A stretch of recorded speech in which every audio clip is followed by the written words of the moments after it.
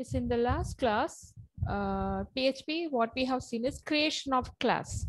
So a class can be created with the keyword class and then followed by a username. You can give a, any name for the class.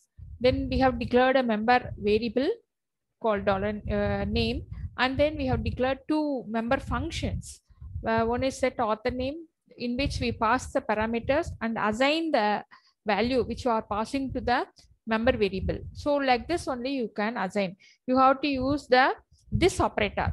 So this is uh, regarding the current class variable. Okay. Uh, so here dollar this you have to use like this.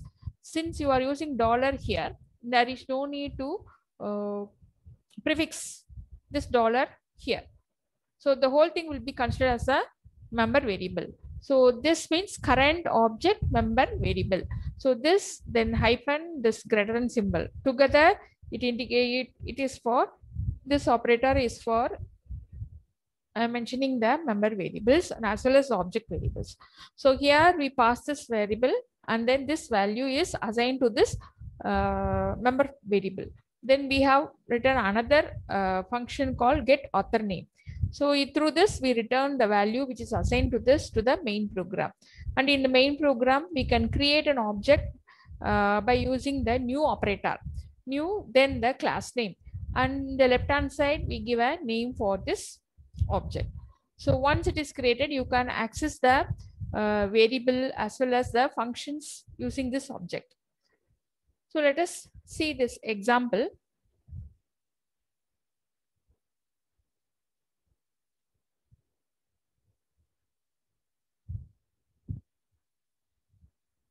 Let us see an uh, example, uh, what we have seen here. So first uh, we have added the HTML tags and then uh, we have given created a uh, we have declared a class called author and then the local it is member variable and then the functions member functions etc and then in the main program with this the class is over. Okay? So function open braces close braces here. This is the braces for this class so with this the class is over then here we create an object so this can be any name this is a username so uh, when you execute this statement an object with the name Sujata will be created, which is of type author, the class author. So all the functions and the variables that can be accessed by using this name. So how you can do by using this hyphen and then this greater than symbol. So you have to mention this object name and then this operator. This together will be one operator. And then you use the function name you use the member function name and you pass the parameter. So this value, once this line is executed, this statement, this uh, value will be uh, uh, attached with this dollar data, which in turn will be assigned to the local member variable. Then how you can access that? You can access it using uh, get author name. Another way also you can access by directly calling the uh, object name and then the variable. As how you are able to access this and this you will be able to access this also. But only if it is it has a public access. By default php if you don't mention in php if you don't mention whether it is a public or private or protected the access uh, then uh, by default they are all public we'll come to we, uh, i'll tell you what is public private and protected in short now we'll execute this program. Here you can see that the name of your friend is here how we are accessing the member functions the same way object name and then use this operator. Uh, then use the member function name. Here same way use the object name and then you can access it access the member variable. So now I'll execute this program. We'll see how it gets executed. Create class one this is the name of the program.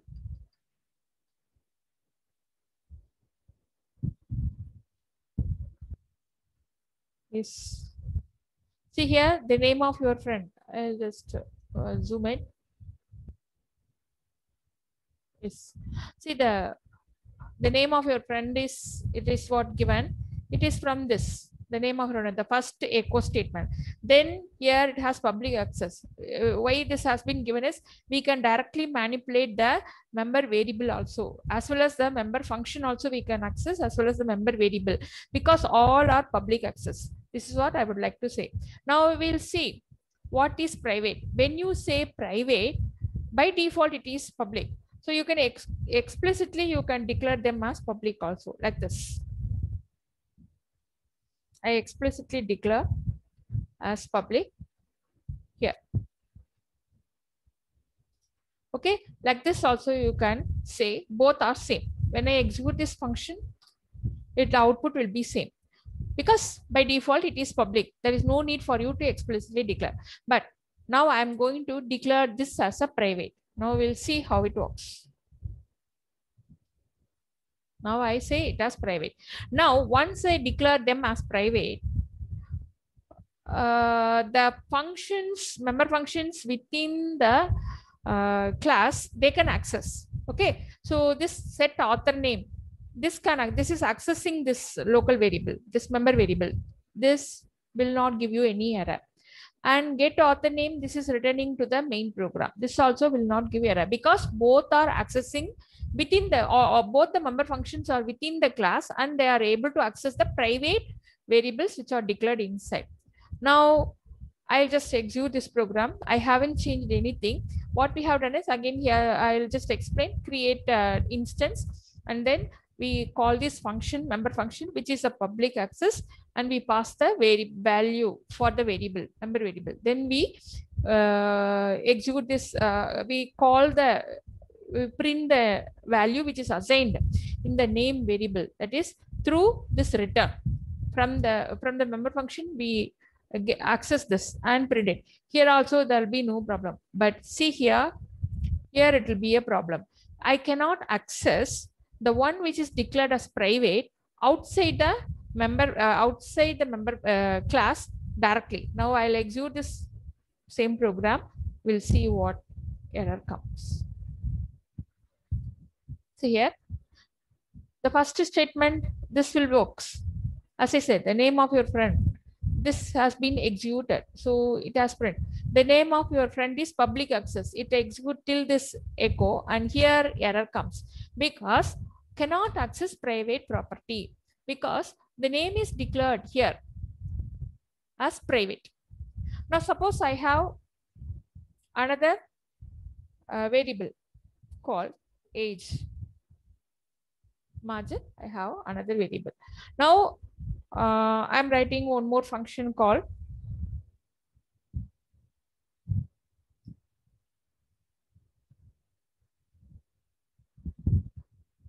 set age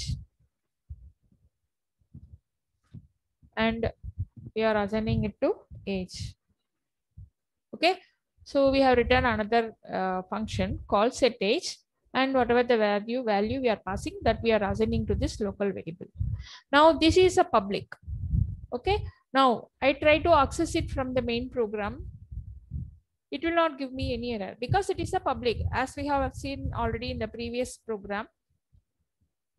Age of your friend.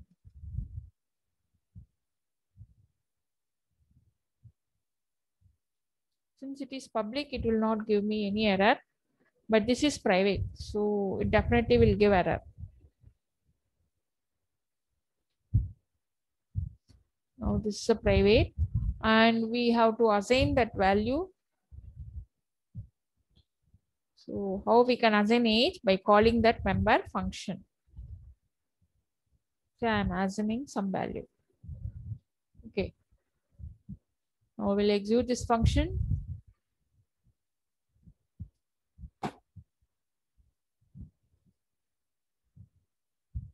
Because there itself it has come an error and the remaining statement is not working.